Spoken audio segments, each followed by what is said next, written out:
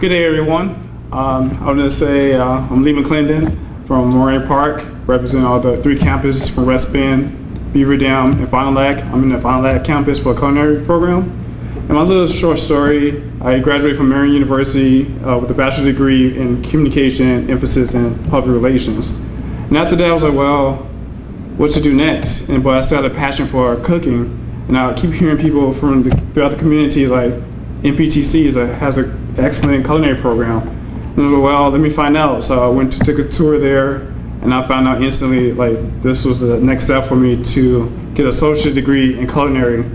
And um, the path right now, it's been a year and a half already, and it's been tremendous. I learned a lot meeting people, um, working with the community members. One of the programs we do, uh, fundraising we do in the year is uh, Fondue Fest. It's a huge event where we do in the beginning of the school year, and basically it's a good event for our community to know that we're there and to um, tell them what Moraine Park is all about from little kids to older adults, and people are curious, and it's a huge aspect to get in the community because otherwise, if you don't, people are not sure about the school. But besides that, I learned a lot. I've been part of the exchange program and like the German exchange program, and learning from people from all over has been a tremendous step. And then uh, my schedule is hectic. As if some, you know, especially for Moraine Park members, they know I have a hectic schedule. But having a busy schedule, I think is going to set me for my career because you got to have a well balanced life with your work, with school, and with family and friends, which are most important. But having a balanced schedule is a huge aspect of learning experience and it makes us a better person. So I was just wanting to thank the, um, the great journey from Moraine Park.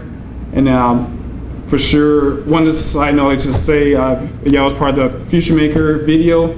It's a huge aspect. I enjoyed this video because it allowed me to tell my story to others why I felt the technical schools are important for everyone.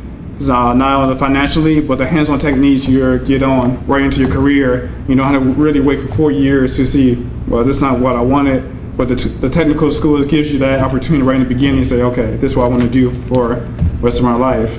So I'd like to thank you, the members of Moraine Park. Thank you for helping me, and I'm looking forward to recruiting more people and um, improve the program. And Robert, Robert W. Baird, thank you for the sponsor. It's been a great event. Thank you.